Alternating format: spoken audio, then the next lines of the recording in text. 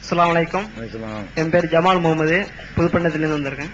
நான் என்ன கேட்க போறேன்னா குரான்ல ஒரு அல்லாஹ் சொல்றான் அப்படின்னு கேட்டா நான் மனிதனை வந்து என் கைகளால் படைத்தேன்னு சொல்றான். இன்னொரு வசனத்துல என்ன சொல்றான்னு கேட்டா நீர்நிலைகளிலிருந்து உயிர்களை படைத்தேன்.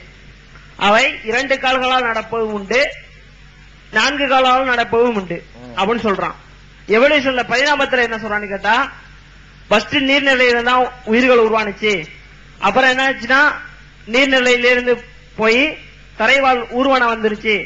ஊர்வன நிலையிலிருந்து பரப்பனை வந்துச்சு. பரப்பனையிலிருந்து பாலூட்டிகள் வந்துச்சு. அப்படின்னு அதை நம்பல நான்.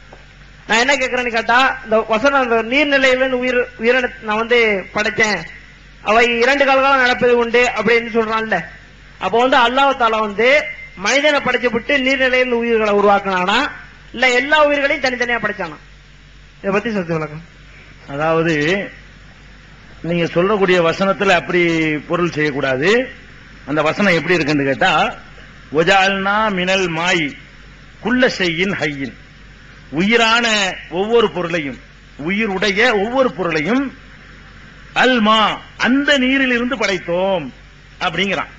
அந்த நீர் என்ற இந்த சொல் அந்த விந்து துளி இருக்கு பாருங்க அதை குறிக்கக்கூடிய ஒரு சொல்.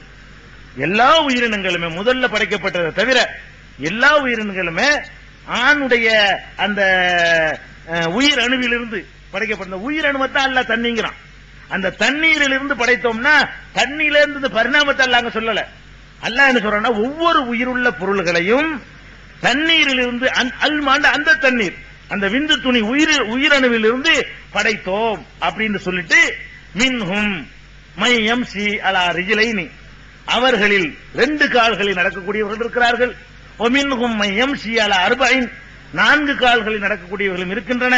மின்ஹும் மையம் சி அலா பசனிகி வந்து வயிற்றுல ஊர்ந்து செல்லக்கூடியவைகளும் இருக்கின்றன. அப்ப ஆறு கால் எட்டு கால்லாம் இருக்கான்னு கேட்டா ஒரு எகலுக்குள்ளாகும் ஆயேஷா. அல்லாஹ் நாடிய இன்னும் இத்தனை வகைகளை படைக்கிறான். அப்படின்னு அதுக்கு ஒரு கவுண்டரை கொடுத்து அந்த வசனம் இருக்குது. அதனால நீர் நிலைகள் என்ற வார்த்தை அதுல கிடையாது. அந்த நீரில் இருந்து நிலைங்கிறது மொழிபெயர்ப்புல இல்லாது.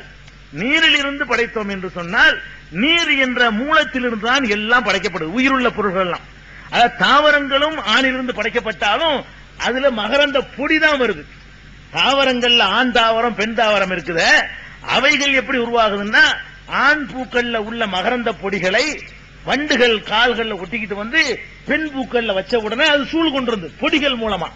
உயிரினங்களை பொறுத்த வரைக்கும் சேர்க்கையின் மூலமா நடக்கும் பொழுது அதுல இருந்து ஒரு விந்து வெளிப்படுது. அது அதுக்கு உள்ள அளவுக்கு.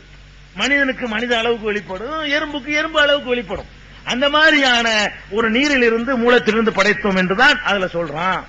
மத்த டார்வின் தத்துவம் எவ்வளவு கிறுக்குத்தனமானது என்பதற்கு சென்ற ஒற்றுமையில ரொம்ப விரிவான முறையில இந்த அறிவியல் உலகத்தில் அதை விட ஒரு கிறுக்குத்தனம் கிடையாது என்று நிறைய சான்றுகளோட நம்ம எழுதியிருக்கிறோம். ஒற்றுமையில அதை படிச்சுக்கிறோங்க